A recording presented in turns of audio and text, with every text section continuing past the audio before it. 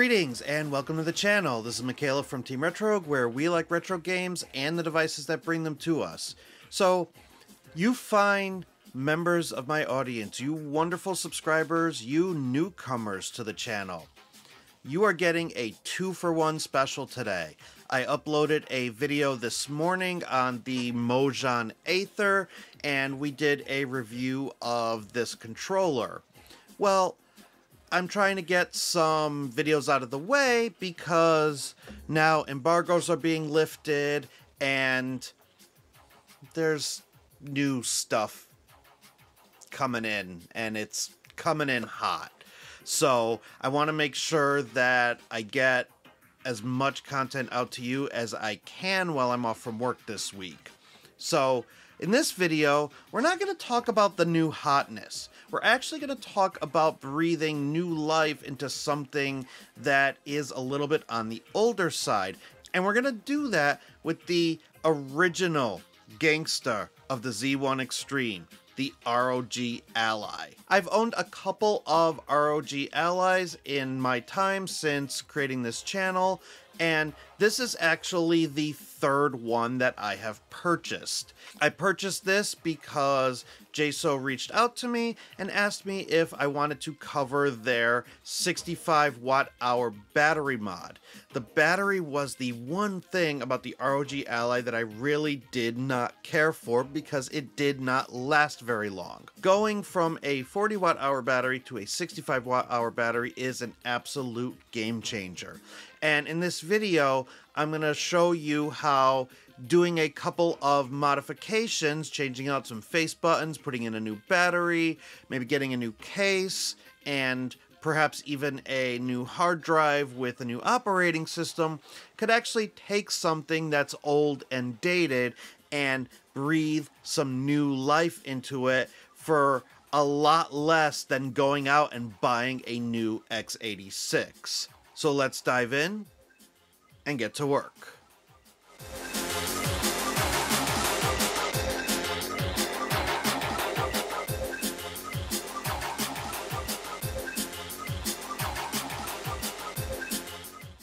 At time of recording, you can pre-order a 65 watt hour battery direct from JSAUX for $79.99. That comes with a replacement backplate, heatsink, and additional accessories and tools. The battery and thermal upgrade kit was sent to me by JSAUX for the purposes of this tutorial. There are also other accessories that I purchased with my own money that I used to modify this ROG Ally, and I'll put links in the video description for everything I installed.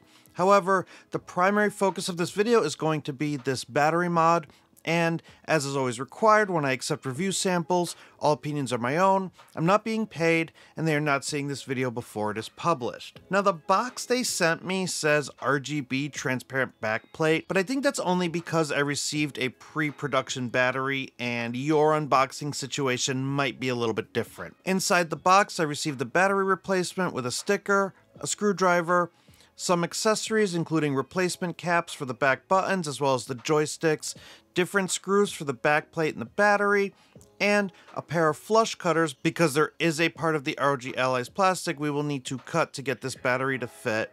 And of course we have the back plate itself. I wanted to make this a more PlayStation centered unit, so I also bought a 2 terabyte hard drive from Amazon, as well as some back replacement face buttons that have the PlayStation icons. Links will be in the description. The ROG Ally itself was also purchased with my own money. I was able to get a Z1 Extreme model for about $400 from Best Buy. Yes, I know, I have a problem. Let's not focus on that.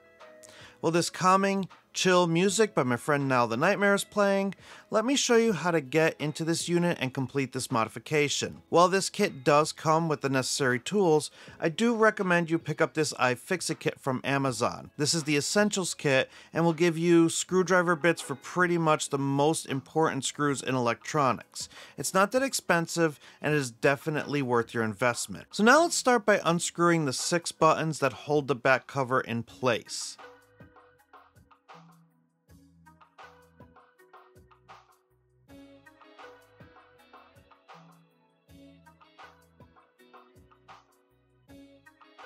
Then, we can use a guitar pick to gently pry the back cover off. I usually start around the trigger buttons and work my way around, gently unclipping the clips along the way.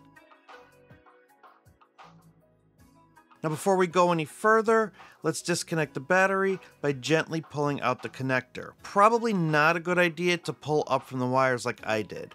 Try to remove it from the connector end using tweezers if you need to. Now, we can carefully remove the ribbon cable going across the battery to the two joystick assemblies.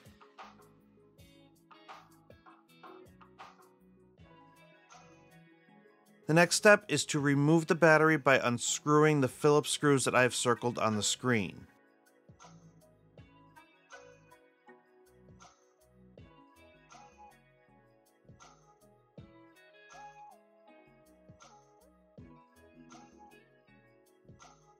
Once the screws are out, the battery should just come right out. Now, if you're only doing the battery mod, you can skip ahead in the video to the timestamp shown on the screen in order to install the new battery and the new backplate. But if you're ambitious and you want to swap out some other parts, keep watching. Now, it's time to disconnect the joysticks. We'll start with the right joystick by removing the screws circled on the screen.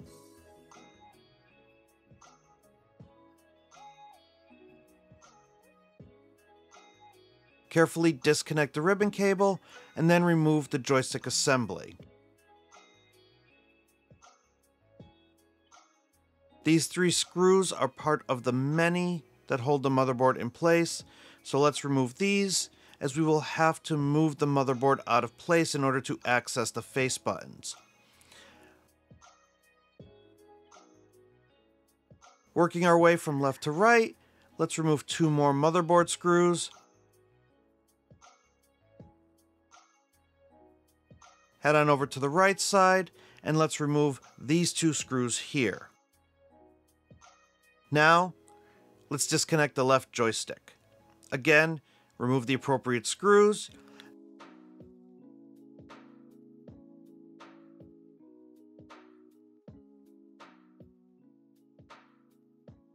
And then we'll need to carefully peel the sticker so that we could remove the attached ribbon cable. Carefully remove the joystick assembly, exposing more motherboard screws, which we will also have to remove.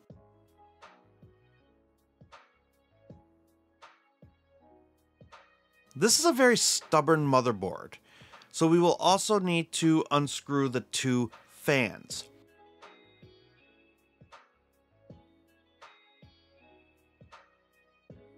Thankfully, there is some wiggle room to where we don't have to disconnect them. We just need to move them out of the way. And there's one more ribbon cable here at the bottom left, and once we carefully disconnect that, this stubborn motherboard will finally start to wiggle out. We don't need to remove the entire thing, we need to move it just enough to be able to access and remove the face buttons.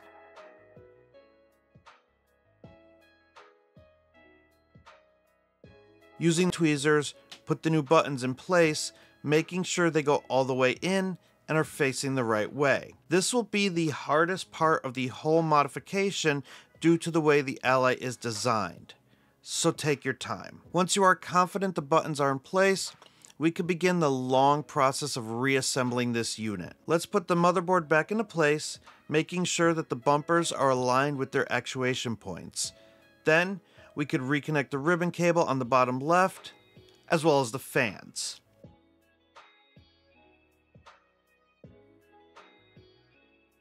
Before going any further, let's just test these face buttons to make sure they work. We seem pretty good to go, so now we could start the reassembly. Let's start by replacing the two motherboard screws on the right, then we could connect the left joystick reattach the ribbon cable, and screw the joystick assembly back into place. Now, we could start to work our way backwards, reattaching the motherboard screws we removed earlier.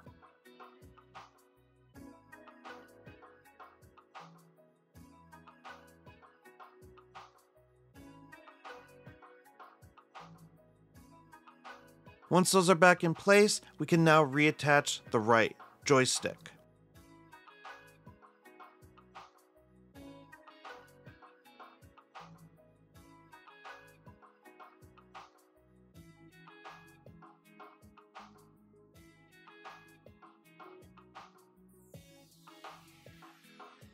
Since I'm going to be doing a Bazzite build for this device, I'm installing a 2 terabyte 2230 hard drive. Unfortunately, 2 terabytes is the highest we can go with this device because we can only put in a 2230 hard drive with this build. This should be more than enough though, combined with a decent SD card.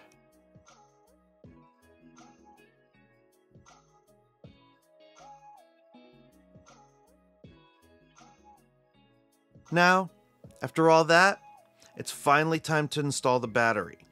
And for those of you who are only doing the battery install and skipped ahead to this moment, welcome back. It's time to grab those flush cutters.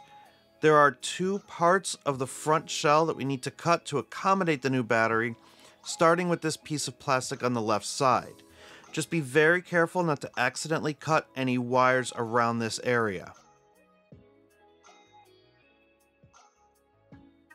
Then we need to make another small cut here on this piece of plastic on the right side. With those small modifications made, we're ready to install the new battery, which should now fit in place where the old battery once sat. Now, I'm going to use the new screws that came with the unit to secure the battery in place. The bags holding the screws have pictures that show you exactly where they go. Once everything is screwed in, we can now connect the new battery. This big black thing is a giant heatsink to help with thermals, and this just sits in between the two fans. Now, we could reconnect this ribbon cable that runs across the battery to the two joystick assemblies. Looking back at this footage, I should have put the sticker on first, then attached the ribbon cable, I went the other way around, which I don't think is correct, because the darn sticker even shows where the ribbon cable is supposed to go. Nevertheless, having completed the front assembly, we're now going to set this aside and move on to the back shell, where we can remove the back buttons and the left and right triggers. M1 and M2 are held in place by a screw and a spring. Whatever you do, don't lose the springs. I don't know where to get replacements. Once disassembled, the buttons will pop right out. Then we could remove the left and right triggers by taking out the screws holding them in place. Now we can reconnect these buttons and triggers to the new back plate. Just make sure you put the springs in first, then screw them in. Again, be careful because replacements are hard to find.